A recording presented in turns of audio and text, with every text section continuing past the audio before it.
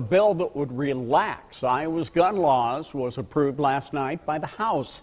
It would allow gun owners to carry and privately purchase firearms without a permit. The House passed a bill repealing the requirement for a permit to carry in Iowa. We were ensuring that bad people that shouldn't have guns don't, but also respecting the law abiding citizens' right to exercise their individual fundamental right to keep and bear arms.